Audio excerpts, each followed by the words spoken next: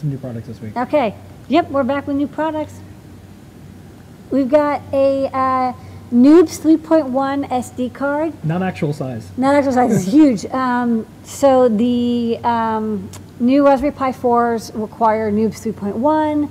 We have a bunch in stock of 3.0 because we don't know about the new Raspberry Pi until everybody else does. And so we just made a new uh, product ID for uh, this SKU, which is uh, the SanDisk Edge 16 gigabyte class 10 card um, that uh, is ready to go for Raspberry Pi 4 and below. If you don't have a Raspberry Pi 4 and you are okay with uh, spending a couple bucks, we put our other 16 gigabyte noobs cards on discount, so you can pick those up for less. If you want the official Raspberry Pi HDMI cable, we got them. We have these. These are, yes, these are the official Raspberry Pi over molded cables. They come in white. Hopefully we'll get them in black at some point. Uh, they are micro HDMI to HDMI cables. They're good quality cables. They have, you know, the HDMI Ethernet support, even though they don't do Ethernet over HDMI uh, for the Pi 4 as of yet. Uh, I don't know if they ever will. And um, yeah, the only thing to note is that the connectors are kind of chunky. They're really nice over molded connectors, but there may be some cases or uh, some setups where you can't have such a chunky connector, Right. uh, especially if it's flush against a flat uh, background. So like some TVs, if, if the cable has to be very thin. It works with the Pi case, the official Pi case though. It definitely works with the Raspberry Pi case. I'm saying the thing that you plug the HDMI cable into, Yeah. like depending on your TV it- yeah, and yeah, monitor. I see. Um, I understand. yeah, if it's if it's like if the cable really fits in very flush, this might be a little bit too chunky. But Okay. it's been fine so far. Um, we have this right angle adapter that goes from 1.1 millimeter uh, inner diameter to the standard uh, 2.1 millimeter, 5.5 millimeter outer diameter. This is pretty much used for the uh, voltaic solar panels that we have stocked um, to make them fit into something that takes a standard DC barrel jack. You plug this adapter on the end, you see, and it's a tight fit, it's a snug fit, but you fit it on and then you can plug it into our solar charger. So we had a, a longer cable. Uh, this one's right angle. Some people might find that handy. All right, we got a couple of these. Resistors. There's a couple of resistor values that we had been missing.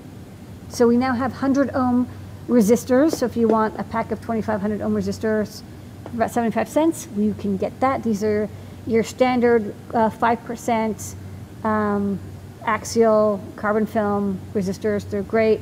They have the nice thicker leads, so they fit into a breadboard nicely. I've noticed that some people, when they go online to get low cost resistors, they have these really thin leads and they don't, they are too loose in a breadboard. These have the nice standard thickness leads. Okay. And, have uh, we also got 1K. So we've been missing 100 ohm and 1K ohm resistors, so now we have both. All right. Next up. Uh, We also have an add uh, additional uh, plug, uh, these panel mount plugs, which I really like. Um, you know, you only have to drill a round hole to attach these to make a panel mount adapter. Um, they're fairly low cost, and you can plug whatever cable you want on the other side to make you know your custom setup. So just showing it off here. Um, this one has USB-C on both ends. So on the input and the output, it's both USB-C, and USB-C can be used for power, you can use for data, it can be used for peripheral, it can be used for host.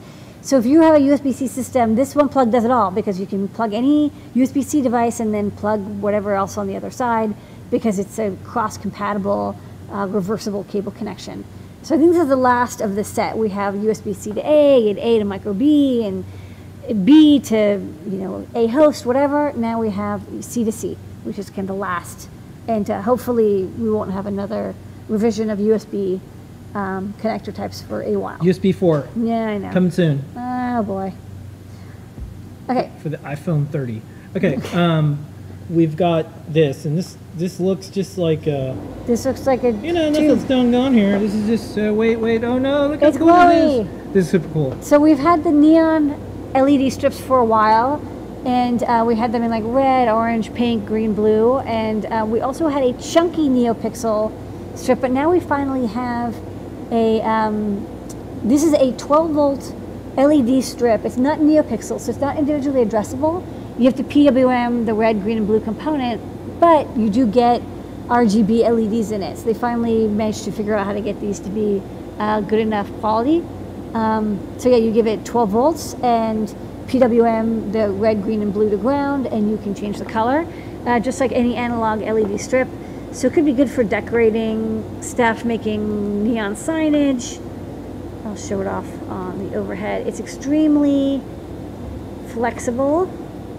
It's also bright, so it's gonna It's- mess with the camera. Yeah, I know the camera is just like, what are you doing to me? Um, it's extremely flexible, so you can make all sorts of cool shapes with it, and extremely smooth. There's no hot spots, which is really nice. You get a very consistent color all the way through. And remember, the whole strip will be the same color. There's no addressable LEDs. We're working on getting a skinny addressable LED version, but this version is a 12 volt power, and you need uh, three MOSFETs to control it. It's one meter long, and it's totally weatherproof. So I wouldn't like put this underwater for long term, but for outdoor usage, if you want to decorate your bicycle or your backpack or uh, you know some event thing or your float or costume, uh, this will do the job very well. And of course, you can set the color to be any color you like in the world. Okay. So that's flexible LED neon, RGB. Who's new products? Yay!